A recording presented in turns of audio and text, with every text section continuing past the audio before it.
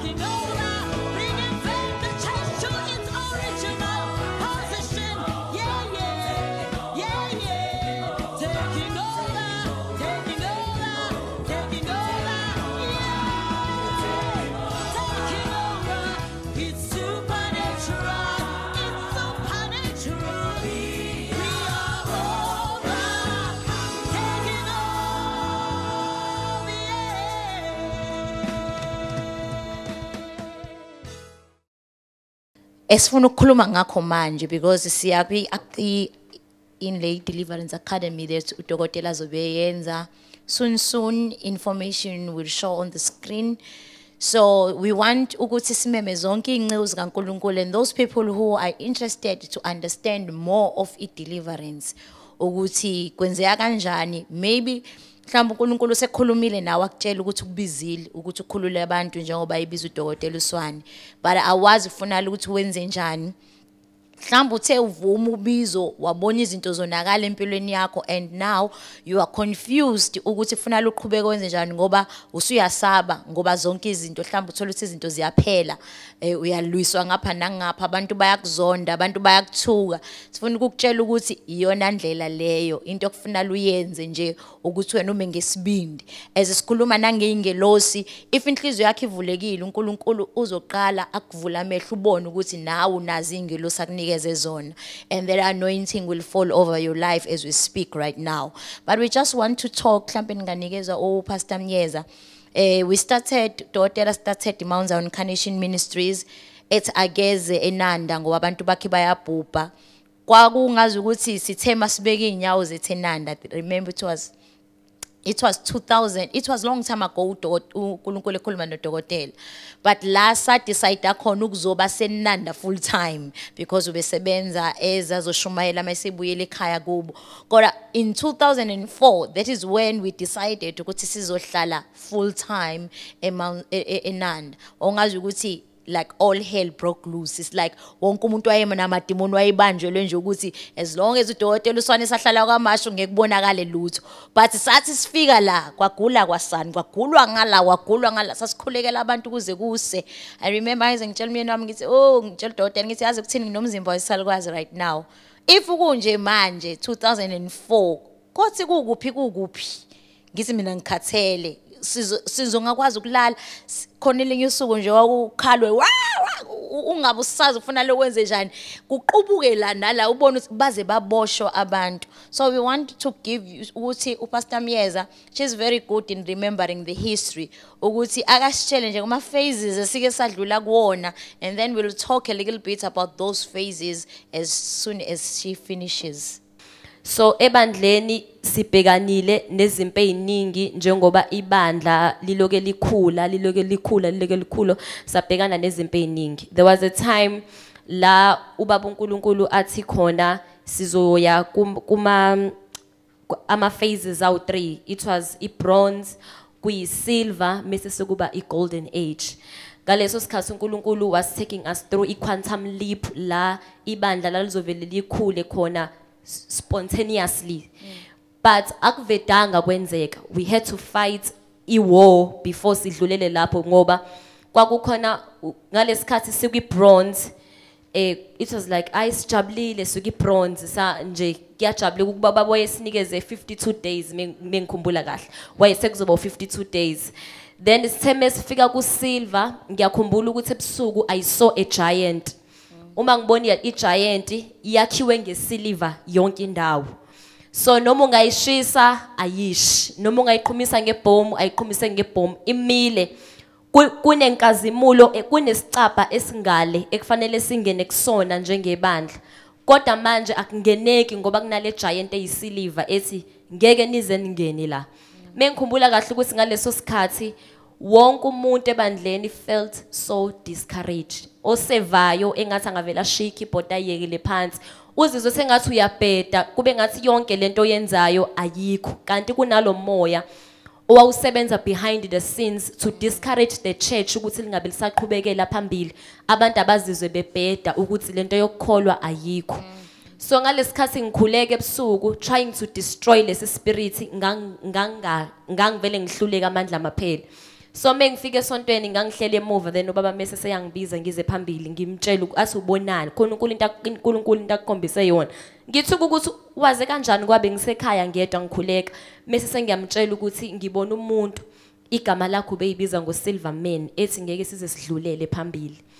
So ubaba ngaleso sikhathi akhuleke ngalesikhathi ekhuleke ebandleni wakwenza konke ngishisa ama declarations up until we destroyed lesi spirit. Kodwa wabona ukuthi uwafa wafa. Fanele kube khona ofayo ukuze lo moya uthi nami ibandla laNkuluNkulu ngiyalidedela. So me u destroy ubaba lo moya sadlulela phambili sangena kule nkazimulo. Kwamnandi futhi sezwe ebandleni ukuthi hayi kumnandi wonke umuntu ujabulile obekade esebenza usefuna ukubuyela manje azosebenza. Akazi ukuthi ubedubelani sonke lesi lesi sikhathi lesi. Kanti kusakhona iphase ye golden age la uNkulunkulu eh ngikakhumbula ukuthi uMamshozi was one of those people ngaleso sikhathi ubaba akhuluma khona ukuthi uzoba nonka kuzoba uzoba nonkazimuli ingane yakhe osekushikhayi namanje ntombazana so wathi baba sizongenela kwi golden age la yonke into nje will be golden empilweni zethu. Yabo uma uNkulunkulu esho such prophecies sike siyithathe si understand ngengqondo yenyama. Uvela umagine ama million umagine into ezinkulu yabo ubona ukuhlupheka nje emhlabeni sekungasekho. Not knowing ukuthi kusakhona impi njengoba uNkulunkulu esho there is a devil who's listening ukuthi angifuni lento yenzeke ngeMount Zion Carnation Ministries. So ngaleso sikhathi sibhekana nomoya owawu- owawusivimbela ukuthi singene kwi golden age. Ngaleso sikhathi wawuvele nje uzwe ukuthi esontweni uyafika but awuzwa lutho. Uyafika nje kuyasontwa kodwa umuntu mengakubuza ukuthi kwenzakaleni awazi nanokuthi kwenzakaleni kube ngathi nje nekhanda liyayithumzela. Yabo kube khona ukuthithiza ngiyakhumbula ukuthi those days ubaba ways athethe. Yabo athethe athethela ukuthi like even ama ushers ngathi awe perform kuba wonke umuntu uyayithithizela. Kanti it was, there was a devil owaye uthola ukuthi even on, on relationships anizwani nabantu kodwa futhi mengase kuqhamuka umuntu anibuza ukuthi nixabanelani? Anazi ukuthi nixabanelani but niya- niyaxabana so ubaba fight that spirit esasisivimbela ukuthi singene kwi golden age. Ingaleso sikhathi where i saw a vision kuvuleka icaphe ezu2 uma kuvuleka icaphe ezu2 mase odokotela bethu bayangena. Uma bengena then thina sonke sase salandela njengebandla. Uma silandela njengebandla ila sabona khona esontweni kwafika ubuso busha sabona sekufika nosomabhizinisi phakathi kwethu. Izinto ezayiprofethwa zingenzeki kanti lezi zinto zazilindelele phase uNkulunkulu azoyisho ukuthi kuzoba khona igolden age. That's why nga understand ukuthi khona izinto uNkulunkulu akazisho but angakutshela ukuthi khona ama giants and territorial spirit okuzofanele uwale before ungene kulowo mnyango ngoba usathana akathanda ukubona ibandla likaNkulunkulu liphumelela. So kuwona wonke ama phases uNkulunkulu abesitshela ukuthi njengebandla sizongena endaweni ethize. Angikhumbuli la sake sangena khona sangena nje kwalula. Kwakufanele ukuthi kube khona silwe sinqobe. Ngiyakhumbula ukuthi there was a time la ubaba kwakunomoya ayewubiza ngokuthi it's a strong man.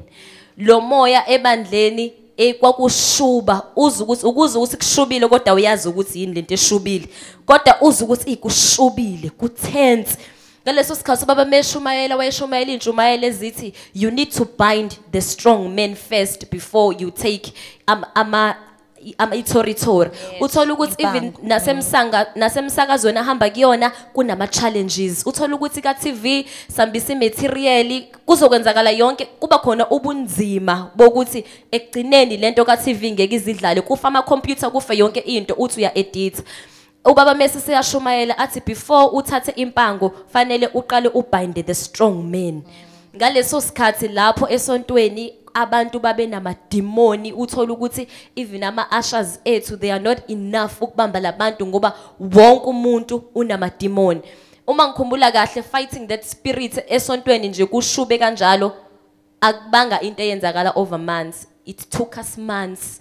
Uze ukuthi we are pressing on going to church kodwa kunzima. It's like ikusasa alikho. Up until ubaba aze awudestroye ambophe lo s- lo moya wawuyibiza ngokuthi uyi strong man. Azikho indawo esizongena kuzona ngoba wona uyi strong man. Wamdestroy u strong man sabona izinto seyivuleleka wabona ukuthi awukwalula ukudlala ku TV kwalula ukungena kwamanye ama radio stations. Then not knowing kwakhona isikhathi la esabhekana khona nomoya owawuthi nje imedia eyami. Angeke nize ningene kwimedia abazalwane angeke baze badlale kwimedia kwimedia nje kufanele kudlale umculo othuka inhlamba ku TV fanele sibona amanyala sibona abantu abanqunu into eshintsha impilo yomuntu ngeke izidlale ngaleso sikhathi it was a year where supernatural is natural uNkulunkulu waye declare phakathi phakathi kwethu. So ubaba sometimes will do izinto singa understand athatha abazalwane athi wena u transport wena u media wena u finance wena. Singa understand yabo ngiyakhumbula ukuthi there was a time la ngangihleli khona eduze komuntu omunye ubaba wathi yabo mina sengivele ngigeze ngigeze ngiwashe ngiwashe ngiwashe mase ngemount zawona ngiyobuka ibhayisikopho it felt as ibhayisikopho muhlele phansi but abantu ababona kumoya babebona ukuthi kunento eyenzakalayo. So adelive uzofika ubaba bhekane nomoya othi nje ka transport kuzoba nezingozi futhi nina abazalana nisoze nayi drive imoto. We overcame that spirit. And uma ungafika ebandleni ebandleni laseMount Zion Carnation Ministries abazalwane banezimoto kuba lula ukuthenga imoto. Recently kade ngihamba nomunye umzalwane ngihlangana nomunye uthi ngiyathanda ukuze esontweni lenu but yabo into intombazane esebenza esitolo. Into engivimbayo ngivele ngibona ukuthi naleli pikhanto lami ngizolipaka phi kuleza inguza nguza zeimoto ezinkulu kanje ya. So mase ngithi mina no bakhona abantu abahamba naba- ngama-pinkatho mhlampe awukaze wena wawabona but bakhona. Uthi nje kodwa ngeke niyadriver nonke and abantu abenza nje basuke bethwalile. Yabo. Ngase ngakhumbula ukuthi kwaqala hla ubabe o-overcome umoya we-transport ofuna ukuginqa abantu ney'moto nokuthi abazalwane babe izinto ey'hamba ngey'nyawo. So having said that, can you just speak to them shortly, shortly, ubatshele ukuthi uNkulunkulu uthini? Shalom bala- balaleli nababukeli emakhaya. Eh engikuzwayo manje the- ku- enhlizweni yami ngizwa kunalo wesifazana ohleli and lo wesifazana emehleli uhleli usindisiwe. M- Njengoba esindisiwe ngaphakathi kuyena vele uyazi ukuthi yonke lento ekhulunywa la yona yena uyayidinga ngobani? Unenkinga yokuthi njalo melele ebusuku ke uyayiphuphe egqoke izinto zezangoma egqoke in- ingubo zezayoni sometimes. Uthi umoya engcwela ngikutshela ukuthi isandla sakhe siphezulu kwakhe. Kwakho manje. And manje njengoba nje uhleli lapho inhliziyo yakho ivutha loko ukusho ukuthi uNkulunkulu ukhulumisana nenhliziyo yakho and inhliziyo yakho isiready ukuthi yamukele isimangaliso sakho. Right now uNkulunkulu njengoba ephilisa uthi angikutshela ukuthi ikusasa lakho lihle futhi wena awusisona isangoma futhi angeke uze ubuyele emngomeni uthi angideclare phezulu kwempilo yakho ukuthi wena you are the prophet of God and you shall see lento uNkulunkulu afuna ukuyenza and you will do miracles and wonders phezulu kwempilo yakho phezulu naphezulu kwabantu ozobuhlangana nabo. Kulabo abasemakhaya abalahlekelwe ithemba ngifuna ukukutshela ukuthi uJesu khona uthi mina ngiyindlela neqiniso nokuphila. So ngenzeka mntaka baba ukuthi usekhaya ngabe uyagula ngabe useyigweletini o unomntwana o abantwana abakuma drugs awusayibona indlela o ngenzeka ukuthi kunezivumelwano oyifakile kuzona. But awusawubona umnyango wokuphuma. Mntaka baba ngifuna ukukutshela ukuthi yamukela uJesu njengenkosi nomsindisi. Uyena ozokunikeza ukukhanya. Njengamanje babukela emakhaya i feel like kunobaba. Ngifuna ukukutshela ukuthi asikho isimo esingadluli. I-decision ozoyithatha manje ayingenzi ukuthi uyisole kusasa. Njengoba ubona udlula kulezi inkinga odlula kuzona ingoba kuyintando kaNkuluNkulu. If ekwazile ukukhulula mina of which nawe ngakwazi ukukukhulula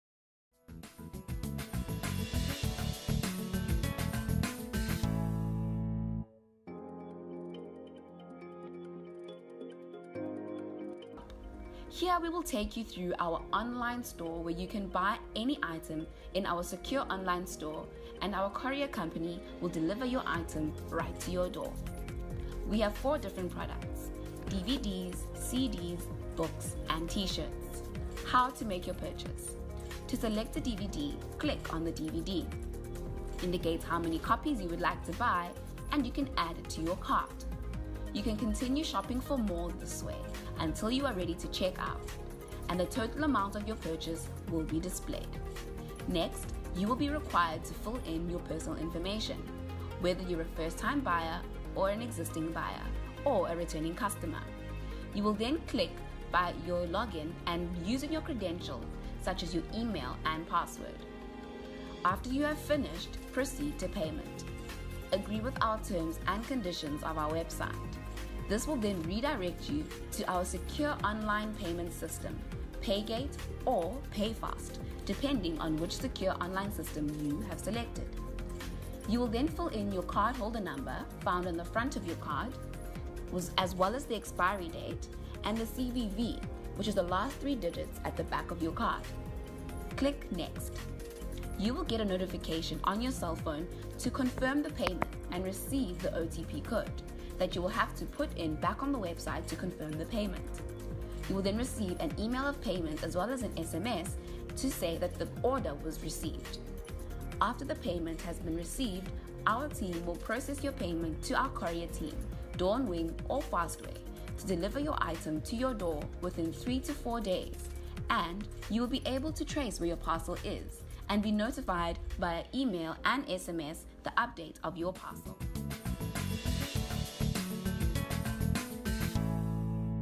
Wena uh, uyazazi njalo mulala you see yourself ukwi ukwi kwi web noma usolwembini lunjengento njalo uhlezi uzabalazela ukuphuma kulona. So akuphumeki. But tonight uzothi umulala uzokwazi ukuthi uphume kulolu lwembu at and ngeke lisaphinde libuyele likuvalele la likuvalele khona. Ukuphuma kwakho kulolu lwembu ukuqaqeka kwezinto zakho nempilo yakho ungena emadleleni akuhlaza ukubona ukuthi uJesu ngempela kahle kahle uyakuthanda. Kwawukuthi nje kuphela kwenzeka kwavuleka idoorway wagcina usuboshwe lolu lwembu then impilo yakho ya- yama yangaya ndawo. But today you are going to be you are, you are getting freed in Jesus name. Ngibona ab- u- uJesu evula abantu amehlo basemakhaya manje bayasibukela. Njengoba bebuka le show ngibona bevul- bevuleka amehlo bebona into abangayiboni la endlini eyenzakala somewhere else. Uthi uJesu is raising an army of people who will see who will hear in the spirit. Amen. ngibona uJesu ngalesi sikhathi ebuyisela ideliverance ebandleni lakhe.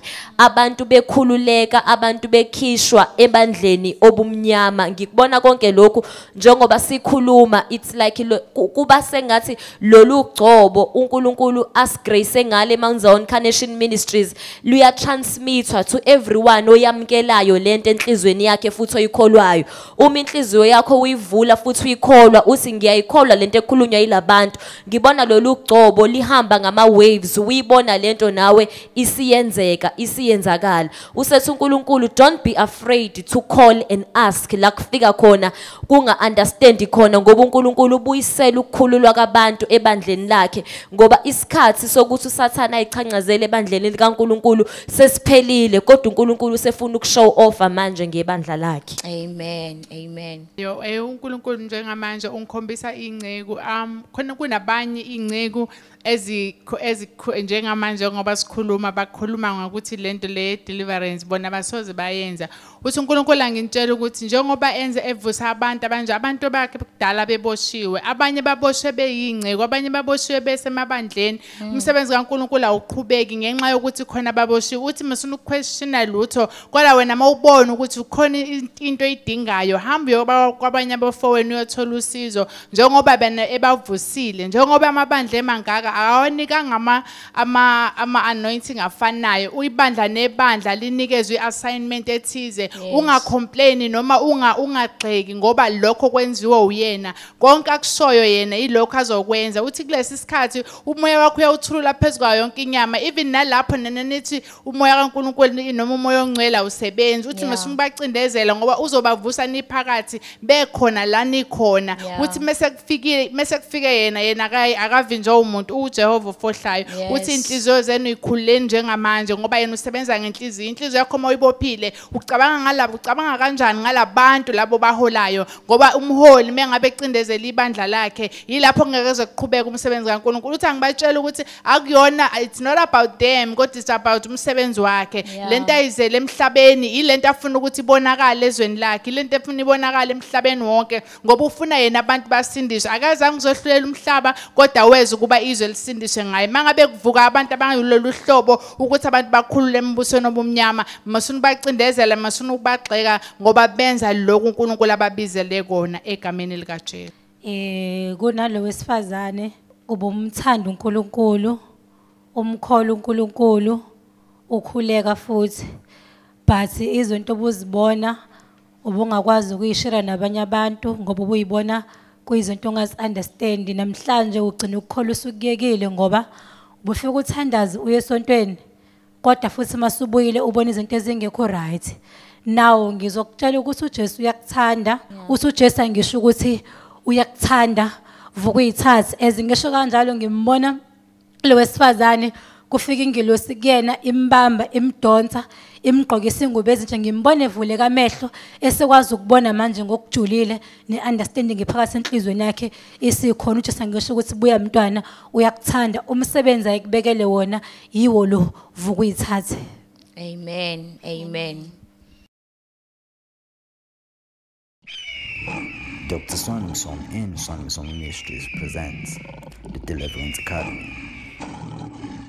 There is so much confusion in our nation and the world at large about the ministry of deliverance, yet many people are bound in many ways. How do we go forward? How do we separate the truth from fake? Dr. Swanson will be unpacking the ministry of deliverance in a way that has never been seen and heard before. He will also be sharing his 29 years of experience in the ministry of deliverance. Come and get the knowledge. Knowledge is deliverance. From the 6th of April 2019 at Dube Village Mall. Time 10 a.m. The registration fee is 300 Rand.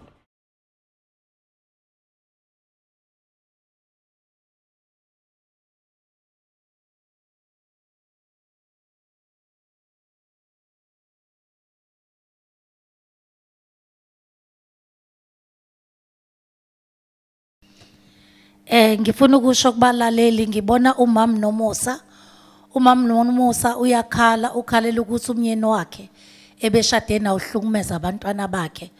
Uyabuza umam nomusa ukuthi uNkulunkulu amkhonzayo ophi uthi uJesu ngikutshele mam nomusa ungazibulali ungawushisa umuzi nabantwana bakho kuphele ngempilo yakho.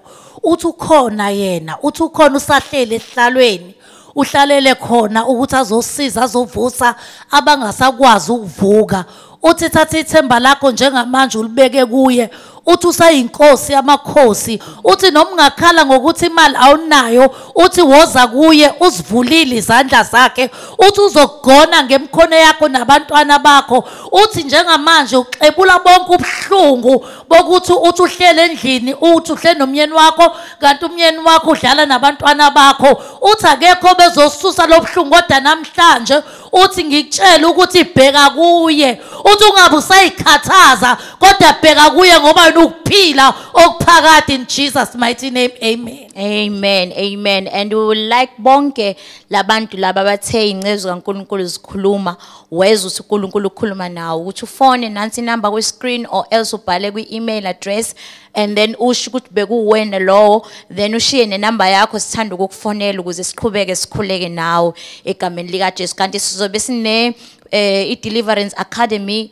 nje nayi date la on the screen ngomhla ka 6 April. Sizobe sine Deliverance Academy lapha ya eDube Village Mall eDurban izobe iqala ngo10 ekseni usuku lonke. We are inviting you from all over. Akhona amahotela amaningi. Ningakwazi ukuthi nifike ngolesihlanu nilale and then mase nivuka nivukele ekutheni nizozwa udokotela Swanemsomi ekhuluma ezonifundisa about i-deliverance. There's one thing I know ukuthi if ufikile you will get the anointing of the house and your life will never be the same again. Egameni likaJesu kanti futhi nawe uma uza ukuthi uboshiwe ufuna ukukhululeka ngithi woza egameni lika Jesu siyanithanda kakhulu sithanda ukuthi sinikhulekele manje sithi babe egameni lika Jesu namba abalaleli nazi inceko zakho. uNkulunkulu wethu ongcwele we are so grateful ukuthi we can feel your anointing. As you touch us right now and this anointing is permeating through the waves and you are touching them right now and you are setting them free oh father.